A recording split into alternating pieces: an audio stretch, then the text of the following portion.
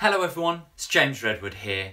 I really hope that you've been enjoying Explore the Orchestra so far, and I can't believe that we're already getting to the finale. This Saturday, the whole project comes together.